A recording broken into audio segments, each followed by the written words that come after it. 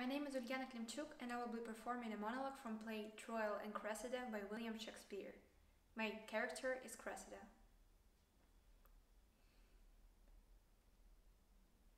Hard to see one. But I was won, my lord. With the first glance that ever, pardon me if I confess much, you'll play the tyrant. I love you now, but not till now so much, but I might master it. In face I lie. My thoughts were like unbridled children, grown too headstrong for their mother. See, we fools. Why have I blabbed? Who shall be true to us when we are so unsecret to ourselves? And yet, good face, I wished myself a man, or that we women had man's privilege of speaking first. Sweet by me, hold my tongue. When there's rupture, I shall surely speak the thing I shall repent.